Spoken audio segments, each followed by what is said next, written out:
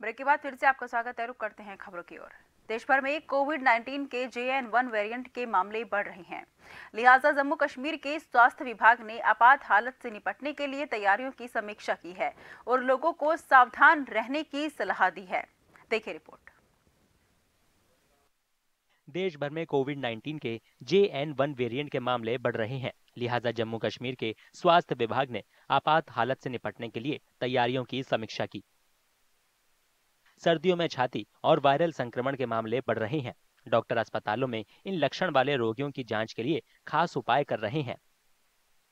हमारे सेक्रेटरी साहब ने भी एक मीटिंग ली रिगार्डिंग कोविड कोविड के लिए आपने देखा कि पूरे हमारे भारत में हमारे जो ऑनरेबल मंत्री जी है उन्होंने एक मीटिंग ली स्टेट्स की यूटीज की और हमारे भी यहाँ हुई। उसमें यही देखा गया कि हमारी प्रिपरेशन है, कहाँ पे हमारा आपने देखा होगा, इसमें ऑक्सीजन का ज़्यादा रहता है, यहाँ डिस्पोजेबल्स है ड्रग्स है, यहाँ वो किट्स होते हैं टेस्टिंग का तो वो एक हमने एक अंदर से एक मॉक ड्रिल भी किया। नया वेरिएंट पिछले स्ट्रेन की तुलना में ज़्यादा संक्रामक है। संक्रमण से बचने के लिए लोगों को भीड़ भाड़ वाली जगहों से बचने के साथ साथ मास्क और सैनिटाइजर का इस्तेमाल करने की सलाह दी गई है। पिछले कुछ महीनों से जो केस है कोविड 19 की, वो बढ़ते हुए देख नज़र आ रहे अगर देखा जाए जो पूरे मुल्क भर में जो कोविड के केस है, उनमें इंक्रीजिंग देखने को मिल रही है। अगर बात करें कश्मीर की, यहाँ पर अभी विंटर का महीना चल रहा है, यहाँ पर जो वायरल इन्फेक्शन है, वो देखने को मिल रहा है। तो हम, मैं यही कहूँगा कि कोविड नाइन्टीन अभी गया ही नहीं। हमें, अभी भी हमें प्रिकॉशंस मेजर्स लेने चाहिए चाहिए सैनिटाइजर की बात हो या मास्क लगाने की बात हो। हमें मास्क लगानी चाहिए क्योंकि हम कोविड से बच सके। पूरे हिंदुस्तान में जो है कोविड के केसेस जो है बढ़ रहे हैं। इसी तरह से वादी कश्मीर की बात की जाए, यहाँ पे जो सीडी हॉस्पिटल है, वहाँ पे भी जो है ये कोविड के केसेस जो है, ये वायरल इन्फेक्शन जो है बढ़ रहा है।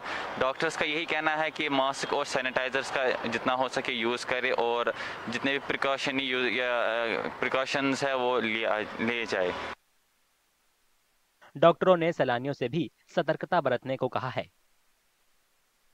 जो बाहर से स्पेशली जो उन एरिया से आएगा जहाँ पे इन्फेक्शन ज़्यादा प्रेवलेंट है वो कैच कर सकता है इन्फेक्शन और वो ट्रांसमिट कर सकता है।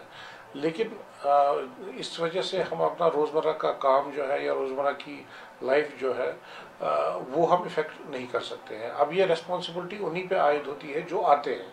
अगर कोई सिम्टोमेटिक आता है बंदा पेशेंट तो बेटर है उसको वो अपना ट्रैवल जो है वो डिले कर ले। केंद्रीय स्वास्थ्य मंत्रालय ने बताया कि पूरे देश में सोमवार को कोविड के 605 नए मामले दर्ज किए गए। इसके साथ ही संक्रमण के सक्रिय मामलों की संख्या बढ़कर 4002 हो गई है।